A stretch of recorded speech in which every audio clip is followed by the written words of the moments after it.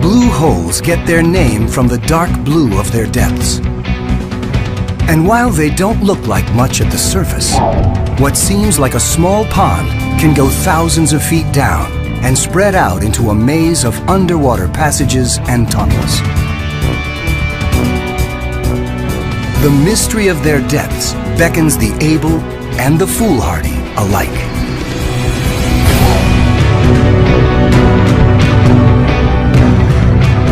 On average, 20 divers die each year in caves like this.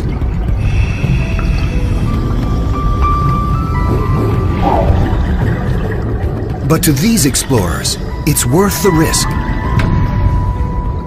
Because blue holes aren't just spectacular. Some preserve the past like a liquid time capsule. Diving them will take the explorers back thousands of years, where there are hints of an ancient, lost Bahamas.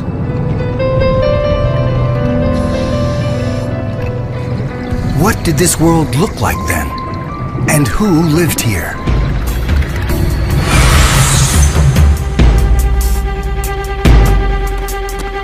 Now, an unprecedented expedition pairs expert cave divers with world-class scientists to find out. There's two options for getting in here right now. One is jump, and uh, I think the second one is jump. National Geographic explorer Kenny Broad, an anthropologist, is the expedition leader. We're trying to get a window into what the past was like. The living past, the geologic past. And you can jump into a blue hole and make finds that change our picture of these islands. They'll do that by exploring seven blue holes in just three weeks on the islands of Andros and Abaco. The team has come here because the Bahamas may have more blue holes than anywhere else in the world. The potential for discovery is high. The risks even higher. So Kenny has turned to Brian Kakuk to lead the dives. Brian is one of the world's most experienced cave divers. We just want to see what's around that corner. We don't want to stop. Cave divers live to change the map, and occasionally that can get us into trouble. Brian staggered back and below with the lens. Renowned photographer Wes Skiles heads up a film crew who will deliver images to document the scientific finds. I'm the eyes of the scientists and the explorers. I know that what I'm shooting is bringing this back to be shared in very important ways, and that's thrilling.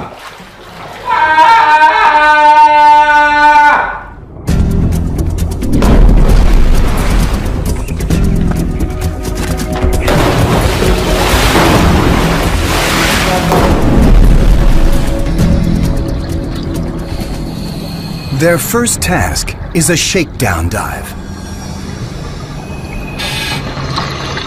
They'll test out the gear and get all the divers prepared for the treacherous labyrinths below. The first thing dive leader Brian Kakuk does when he gets into the hole is lay down a guideline. In cave diving, laying line is the first rule of survival. Without that guideline, your odds of coming out are very slim, and that's what kills most people. Though they can appear crystal clear, blue holes are full of silt. When disturbed, it rises from the floor or even falls from the ceiling and blacks everything out. In this place, it's extremely dense black organic matter, so it's difficult to work in. Just the pressure wave of your body pushing the water in front of you tends to stir stuff up. You have to count on coming out zero visibility with your finger on that line, feeling your way out.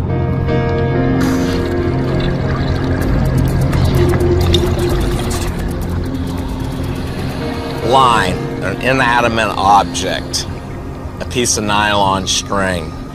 You put it underwater in a cave and it comes alive and it's devious and evil.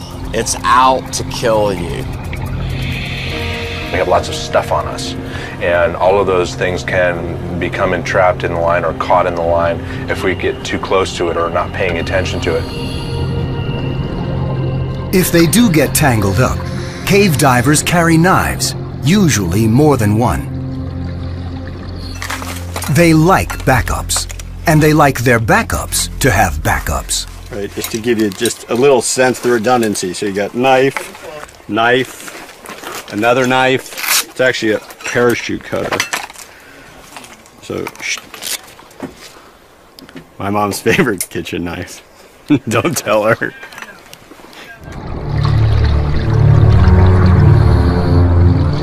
Backup is second nature in this type of diving, where caves that look solid can suddenly fracture at a bubble's weightless touch.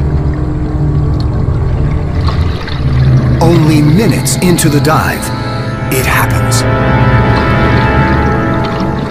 Brian turns around to see chunks of ceiling fall on Kenny. Kenny loses the line. It was just raining down crumbly rock, and he almost disappeared. We're talking about avalanches. Because I couldn't read any of my gauges.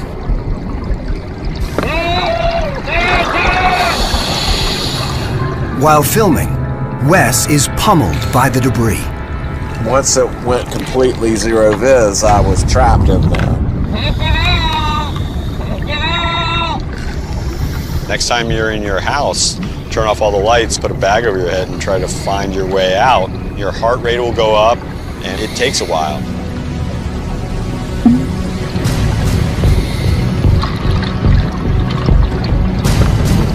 Brian is still on the line. Kenny grabs his leg and they escape, covered in debris.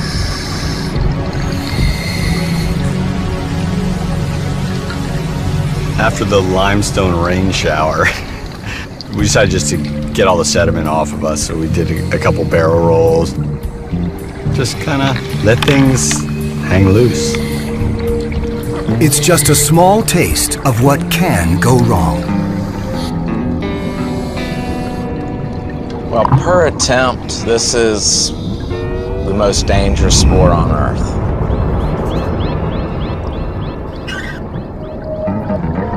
I see dead people that are diving with me. I look at people and go, that person is a potential fatality. And down here, with the slightest mistake, potential becomes reality. Out of nowhere, a human arm bone appears. Next, a flashlight. Then a knife, strapped to the leg of a 70s era wetsuit. An orange sleeve and a headless torso. The remains of a diver who died trapped in this cave 30 years ago. He's jammed up like he was trying to find his way out. And he looks like a 1970s diving display. He used no guideline, no redundant systems. Nearby, the diver's head, with his dive mask still in place.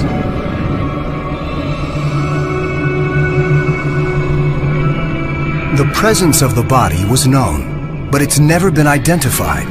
And it's so deep, no one's ever attempted a recovery. It's really knowing your limits, and that's what keeps you alive, and I think that's what's killed a lot of people in caves. Don't know what's in there. You know no one's been in a lot of these places, and that's kind of sucking you in. Our human nature is to push into places that we don't know about. And the blue holes of the Bahamas appeal to that curiosity with their hundreds of miles of unexplored passages. The blue holes formed as long as 300,000 years ago, in the middle of the Ice Age, when ice caps expanded and sea levels dropped. Then, sea level was over 400 feet lower, and the Bahamas sat high and dry. Over time, rain carved holes in the limestone base of the Bahama Islands, creating caves. When sea levels rose again, the caves filled up. Ocean water settled at the bottom. Fresh water accumulated at the top. Eventually, the deep layer became completely devoid of oxygen. And that's what makes blue holes time capsules. Without oxygen, bones and other hints of the past are preserved. It's one of the main draws for cave explorers. After over an hour, a cave-in, and an encounter with a corpse, the shakedown dive ends amid intense relief. Yeah, oh, that was really fun. 10, 78 minutes that I've spent in a long time.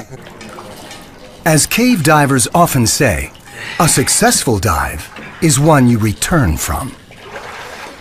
And you think you're home free, and all of a sudden the cave starts raining on you. yeah. Uh, we're laughing because we're here to laugh about it. Let's go cry by the band. With their gear and fortitude tested, they're ready to take on a biological cold case thousands of years old.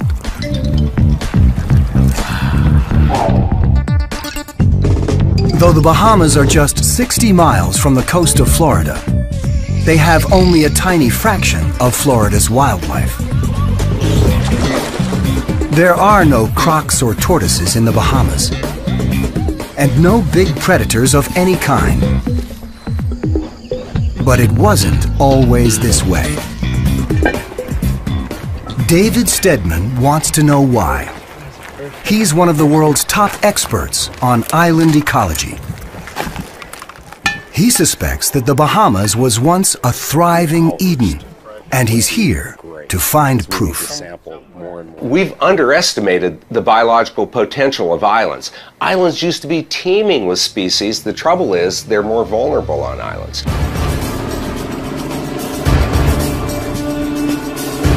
For centuries, hurricanes have scoured these islands clean. On the surface, there's almost no fossil record of anything. So the best place to find bones may be straight down in a blue hole named Sawmill Sink on Abaco Island. Its high sides give it the look of a natural animal trap. The team thinks it may be a good place to hunt for the remains of animals who lived here in the past. Just scoop up the sediment, scoop as deep as you can. Where you, where Since those Steadman is not a diver, the underwater team will be his eyes and hands, prospecting for bones in another very dangerous place. This is a very disorienting place, Nate. So y'all watch each other. Stay on the line, stay on the line, stay on the line.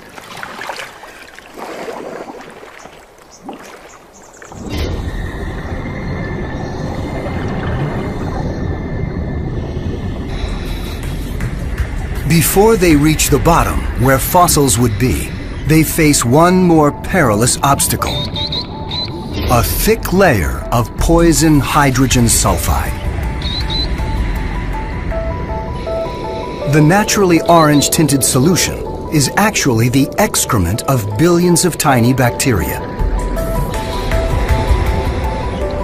They eat organic material, then excrete hydrogen sulfide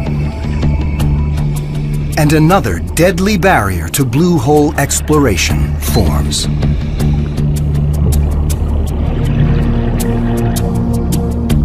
The divers can't protect themselves from this poison because it enters through their skin. Here, at about 100 parts per million, hydrogen sulfide makes the diver's lips tingle and smells like rotten eggs. But prolonged exposure may cause brain damage, so they've got to kick through it fast. Once on the other side, they reach the oxygen-free zone. It's here that the bones of animals that fell into the blue hole should be preserved. We're dealing with sort of an aquatic tar pit. Animals get in there, and as they die, they sink down into the part of the water that has no oxygen in it. Because that water has no oxygen in it, there's nothing to support the microorganisms, the bacteria and fungus and things like that, that normally would decay bones. In Sawmill Sink, fossils that are 4,000 years old appear better than a chicken bone that may have been thrown in your backyard the week before.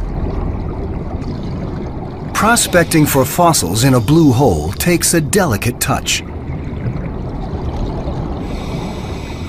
Even gentle probing can stir up the silt. As he probes, Brian makes a find. It's a shell, the shape of some kind of tortoise. The oxygen-free layer doesn't preserve skin or muscle, but it does maintain shell and bone in almost pristine condition.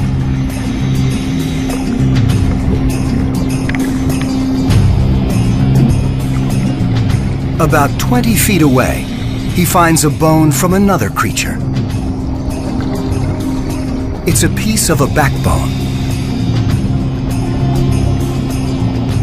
But whose?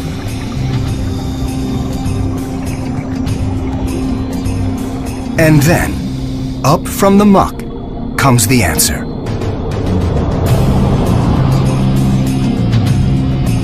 A foot-long skull, loaded with teeth.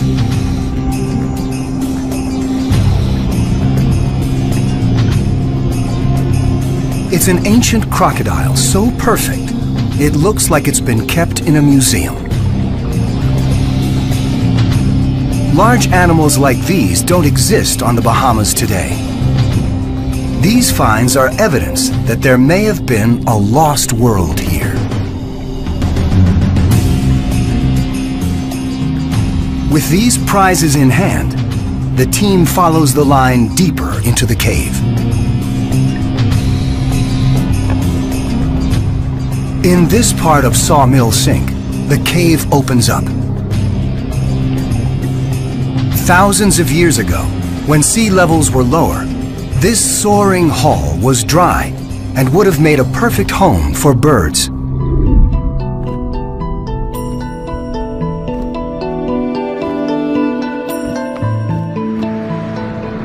Today, the divers can actually swim up to a ledge where birds might have roosted and start scouting for fossils.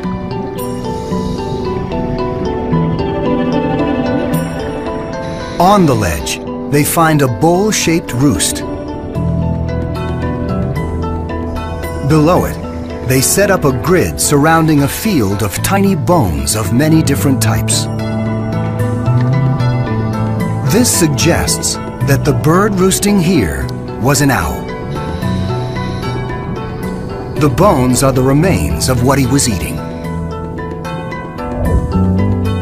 Since they can't digest bones, owls collect them in their crop and vomit them out in a clump called a pellet.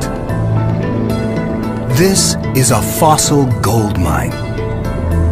The bones of lizards, snakes, bats, and small birds. A census of life here thousands of years ago. It will delight David Steadman, waiting for the divers to return.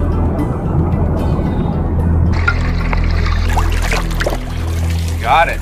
Wait. Hey, I can't wait to open these up. Let's see what you have. There, there may be some associated bones in the sediment that's in the container there too, so we'll be careful with that sediment. Okay, got it. Oh, wow. Look at that Look at that. Steadman has a hunch there's a link between the tortoise and the crocodile.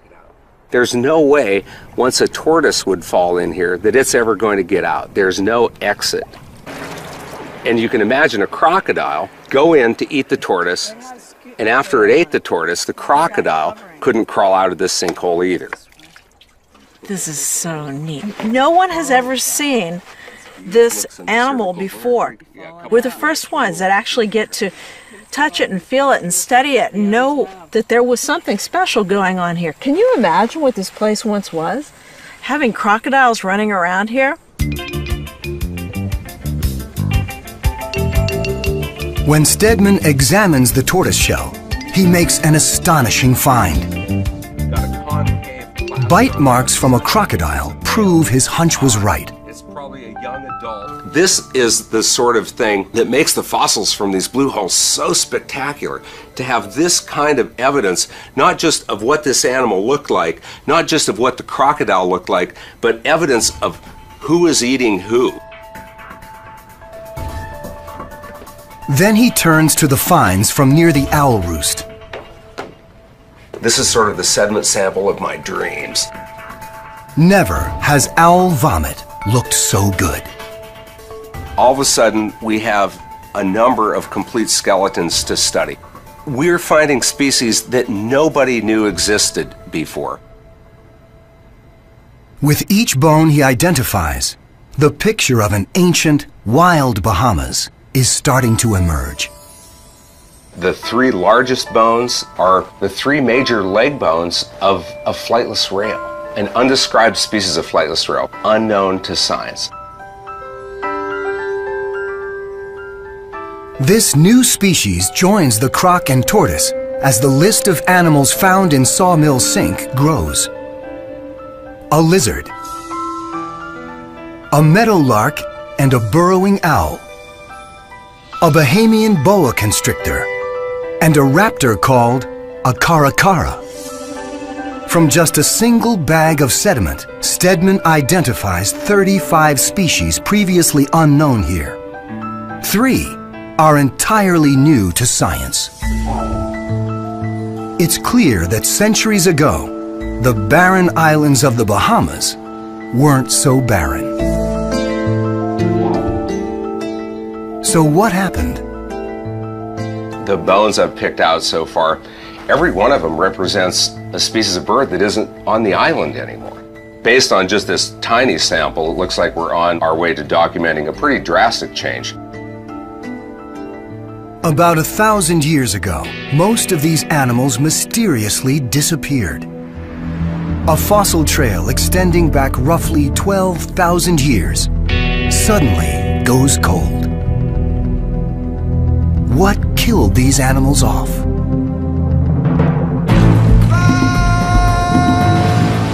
In 1492, when Christopher Columbus first made landfall in this hemisphere, it was in the Bahamas. He encountered a people called the Lucayans. The Lucayans descended from people that came from South America around 800 BC and slowly migrated to the Bahamas. At the time, Columbus wrote almost nothing about their rituals or traditions. What little we know today suggests that they thought blue holes were sacred.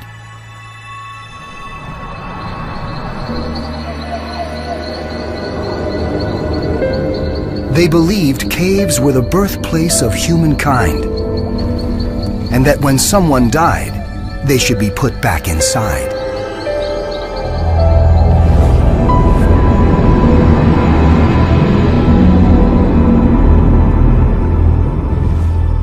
In the early 1990s, in a blue hole called Sanctuary on Andros Island, a diver found human remains that may have been related to the Lucayans' ritual burial. Following up on that lead, the team will search for more remains, beginning at Sanctuary. They'll try to determine if there's a link between the Lucayans and the animal die-off that occurred about a thousand years ago. Identifying signs that there are bones, skulls, hopefully. Recover that and document it all.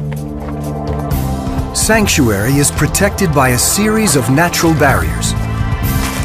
For starters, it's 110 degrees, with humidity to match. If you're looking for liquid weight loss, it's a great site. If you're looking to stay hydrated, it's not the best site. Underfoot, a type of jagged, dead coral called needle rock. And throughout the scrub, a toxic plant named poisonwood, which they've marked with red tape. Poisonwood is like poison ivy on steroids.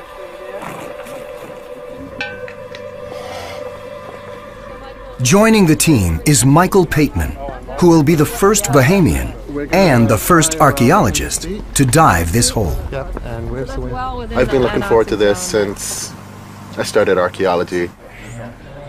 It's it's the mystery of the site. It's what can I find? I want to know what's here.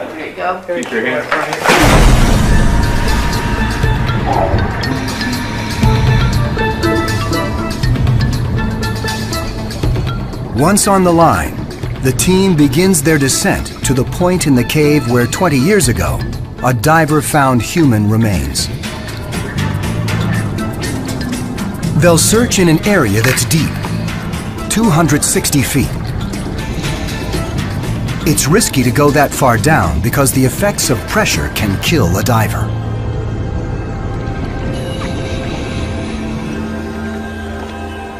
At sea level, the pressure exerted on a person is called one atmosphere. That's the weight of the column of air above each individual, extending up to space. It's about 15 pounds per square inch, pressure we live with every day. But at the team's target site, 260 feet down, they'll be under nearly 9 atmospheres of pressure. That's almost 135 pounds per square inch.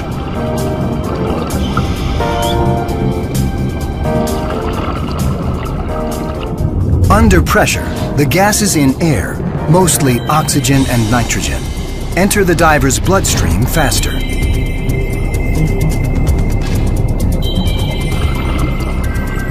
Our bodies metabolize oxygen, but not nitrogen. So as they descend, nitrogen bubbles build up in the diver's bloodstream.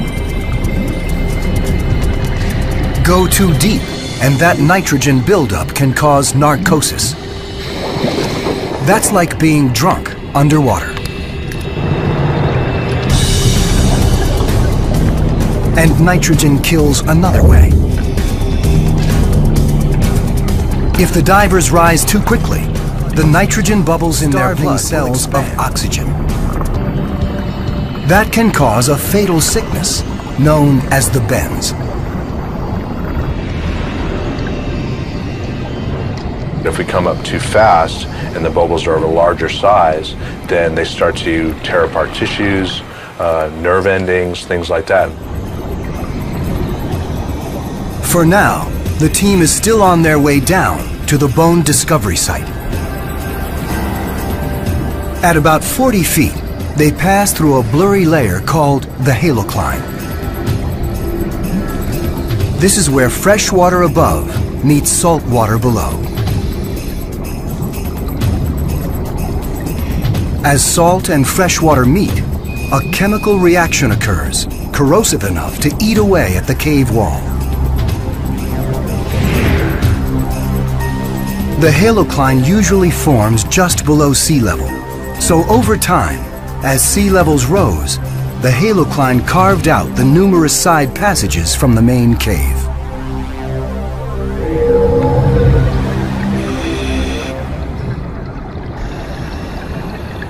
At 260 feet, they're just above the slope where human bones were found and face another potential danger. The surrounding rocks indicate there's been a massive cave-in. That kind of stuff goes on out of sight all the time where you have chunks coming down. And we're swimming over boulders the size of houses, and you know they came from the ceiling. They know it will happen again. They just don't know when. It's one more detail that makes working in a blue hole more dangerous than any other type of marine archaeology. Archaeology in open water, if you have a problem, you can do immediate ascent up to the surface. If you need to haul material up, it goes straight up to the surface. You can't do any of that in an underwater cave.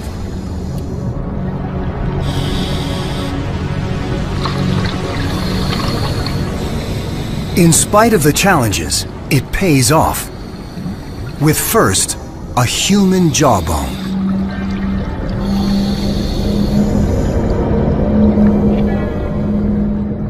And then, a skull.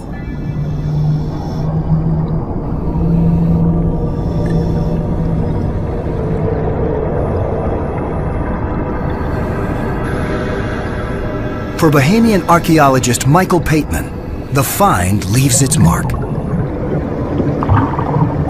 To finally actually go in the site and to see the site, I thought, wow, I can spend hours in here. And to have been the first Bahamian to dive in that blue hole was just, it's still not sunk in completely yet.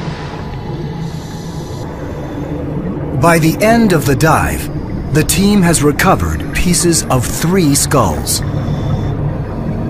But critical questions remain. Are they connected to the catastrophic die-off of animals here?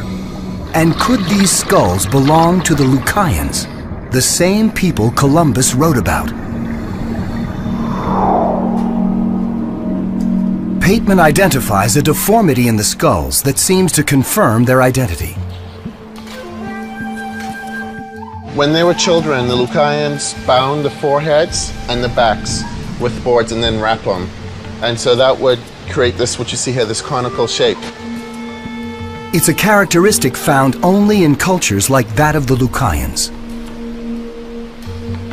And when the skulls are radiocarbon dated, there's an even bigger revelation.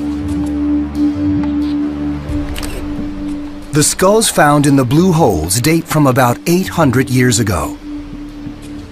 By then, the Lucayans were already settling in the Bahamas and having an impact.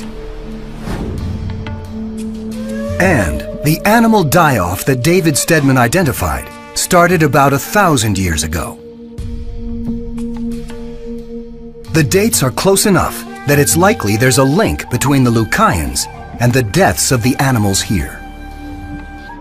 We have great fossils from about 12,000 years ago up to about when the first people arrived.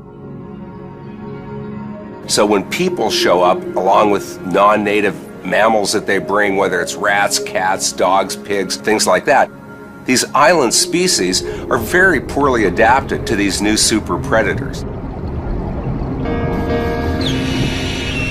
On islands across the world, the most vulnerable species have been wiped out. They're extinct. By exploring the time capsules inside blue holes, these divers have discovered a lost Eden that was. And showed how humanity changed the Bahamas forever. But bones aren't the only prizes preserved in blue holes. Locked in spires like these are secrets about the planet's history. Secrets that can only be found. So now the team heads for blue holes famous for some of the most spectacular spires in the Bahamas.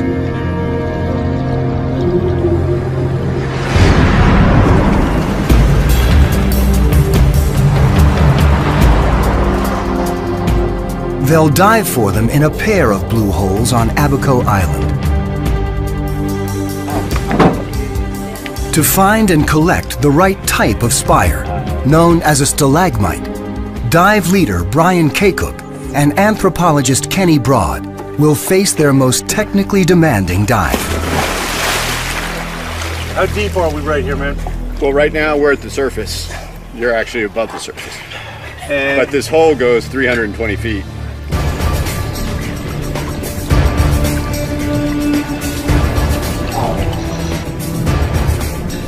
Cutting through the solid rock at the base of a stalagmite is going to take a lot of time.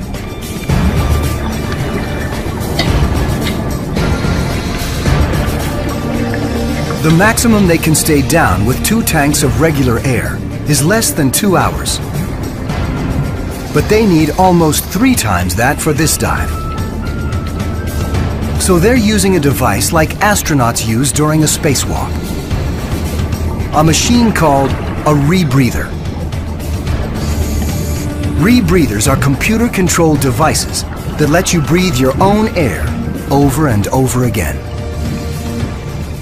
Rebreathers allow us to scrub out carbon dioxide, the bad things that we don't want to rebreathe. So these little tanks will allow us to do a very long, deep penetration of a cave. Once carbon dioxide is scrubbed out, sensors check the amount of oxygen in the air, adding more if necessary. This is the canister that filters the air that we exhale, takes out the carbon dioxide, cleans it out. And then this is the magical brain that tells how much of other types of gases, whether it's air, helium, or most important, oxygen, how much to put back into the breathing system. Very important. Be nice to me. Be nice to me. Rebreathers are especially good for cave diving because they release few bubbles, which can dislodge ceiling debris, creating blackouts. But they do have a deadly downside. There's as many as one out of ten rebreathers sold that people have died on.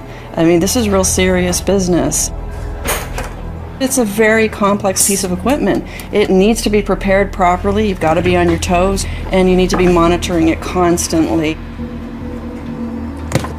Before the divers use a rebreather, they'll go through a checklist more than 40 items long.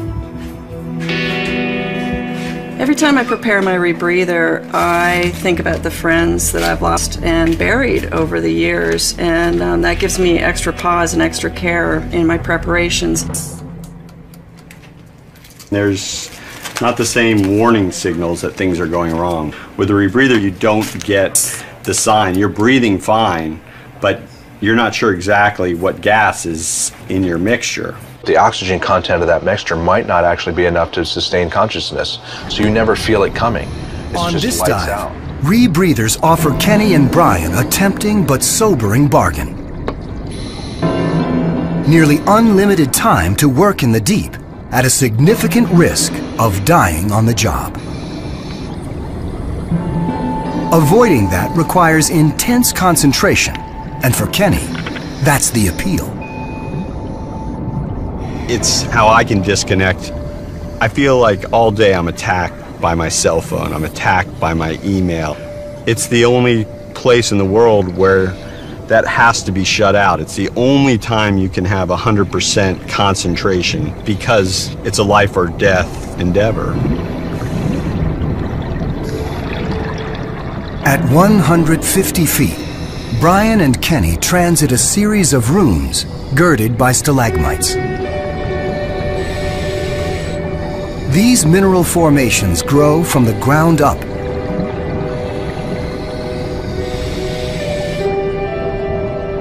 Some in this cave took more than 200,000 years to form.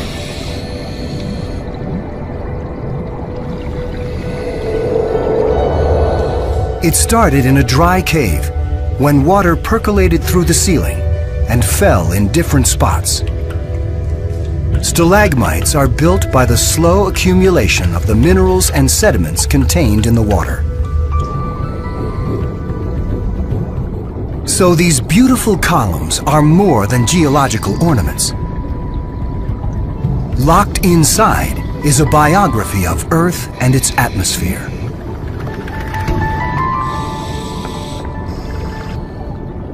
The stalagmites Brian and Kenny are harvesting may help answer critical questions about the history of Earth's climate.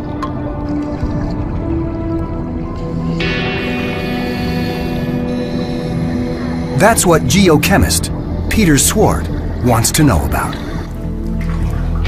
Stalagmites give us a clue to what paleoclimate was many thousands or hundreds of thousands of years ago. Much of what we know about climate history comes from two sources. Sediment samples from the ocean floor and cores taken from glaciers and ice sheets.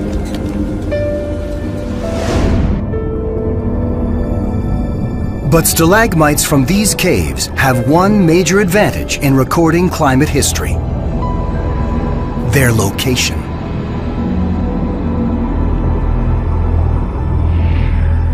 The Bahamas lie beside the Atlantic Gulf Stream. For millions of years, this current has carried warm, salty waters north, where they cool and sink. That drives ocean circulation, also called the Atlantic Gyre, which shapes the climate. Stalagmites record it changes right in the subtropical Atlantic gyre. So here we're really at the heart of the action. We haven't had that kind of opportunity to see the changes which occur in this region before now. So the stalagmite climate history. Using that history, Swart may be able to answer a critical question. While most scientists believe that Earth's climate is changing, they are struggling to figure out how fast. This stalagmite could help answer the question. To decode it, Swart first has to cut it lengthwise with a diamond saw. Inside, it displays regular bands of growth, like the rings in a tree. Embedded in each band is the climate biography of a specific period. With analysis, Swart can describe how much it rained, what chemicals were in the rain, soil, and air, even the temperature. Examination of the stalagmite shows evidence of more than five major climate changes over the last 80,000 years. This corroborates findings in samples taken from ice cores. But then he notices two curious details. First, the way the bands formed suggests that at least one of these climate episodes came on very abruptly.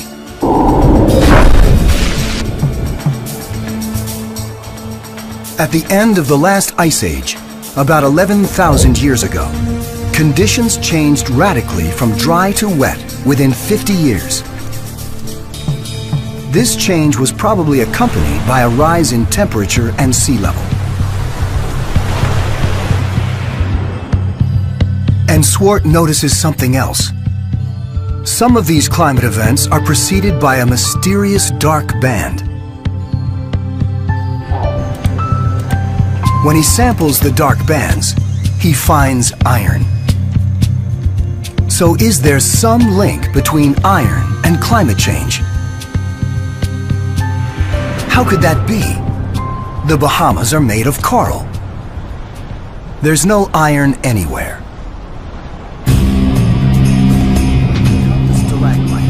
Brian and Kenny notice something that might help solve the mystery. In the cave wall, they found a layer of red sediment. The color is the key here. The red in the dust means it's loaded with iron. And that means that thousands of years ago, a thick layer of iron-rich red dust covered the island's surface. Repeated rains washed it through the rock, leaving a bright red band. So how did the red dust get here? One theory suggests it came from the Sahara Desert, some 4,000 miles away. During times of extreme drought, towering dust storms gather in the Sahara,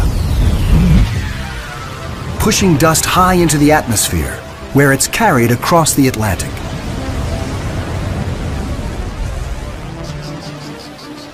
When Swart analyzes the iron in the stalagmite, he confirms that it's made of Sahara dust, though its red color has been washed out after thousands of years. And in the dark band, he isn't finding traces of iron, but significant concentrations. Now, the iron was very low concentrations, with the exception at this boundary here. The areas with the highest concentration of iron correspond almost exactly to the places on the stalagmite where the chemical composition indicates a period of major climate change. That probably means a major Sahara dust event came right before each change, when temperatures and sea levels rose. The fact that Saharan dust storms happen with greater frequency today is raising concerns that history could be repeating itself. Now, we know, say, the last 40, 50 years, there's been a major drought in Africa. And that's seen an input in the amount of dust which is coming from the Sahara region to the Bahamas. It's estimated that over the past five decades, the Sahara has seen a tenfold increase in large-scale dust storms. If we're witnessing the beginning of a major climate change, it could happen fast, just as it happened in the past. Maybe in as little as a lifetime.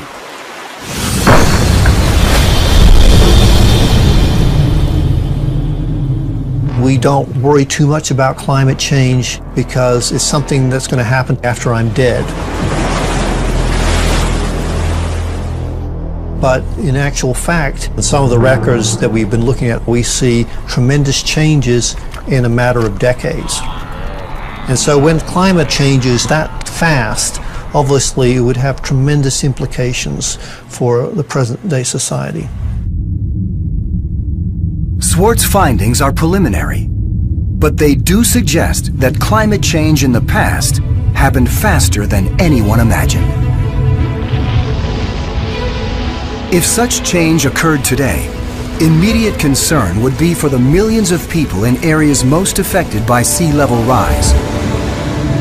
Island nations and coastal regions throughout the world.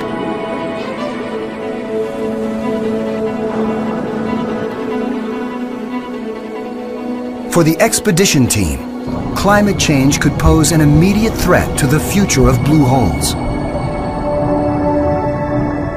There's probably no way to keep rising seas from pouring into them, ruining their delicate chemistry. Blue holes are unique repositories of scientific knowledge. Sea level rise associated with global warming will change that water chemistry, and we're going to lose a lot of valuable information very quickly. We would lose most or all of the fossil record. It would be the equivalent of burning a library.